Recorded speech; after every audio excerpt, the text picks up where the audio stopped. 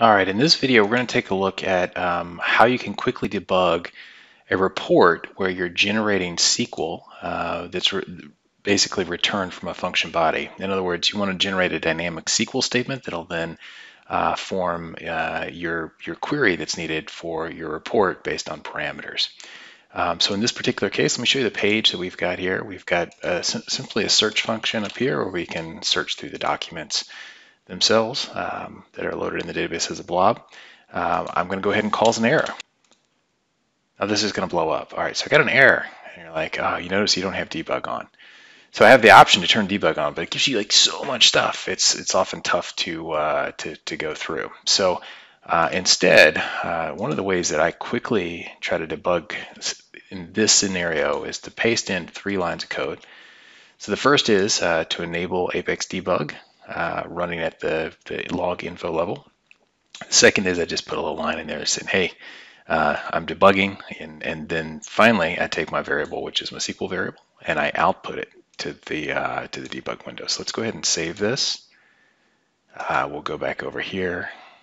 I'm going to run the same page. It's going to blow up. Now I can view the debug, and I can see that two seconds ago uh, we have a debug entry.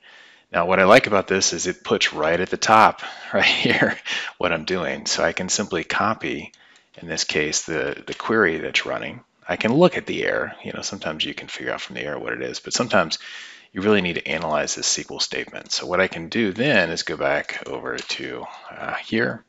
Obviously, it's going to fail the first the first time um, that I run it, but if I look right here, I can see that I have a double double quote test the query. Okay, the query runs, the output runs. So now I can go back to my page designer, remove that quote. I'm just going to keep the debugging on for the time being. Hit save, run back to my page. I'll do a refresh. And you can see that it brought back the results. Similarly, I can look at the successful query that just ran right here. So that's just a quick hack. Now, the other the other way that you can do it, um, and this is, you know, let's say you have a, a much bigger problem uh, in your code. I'm going to go ahead and comment this out.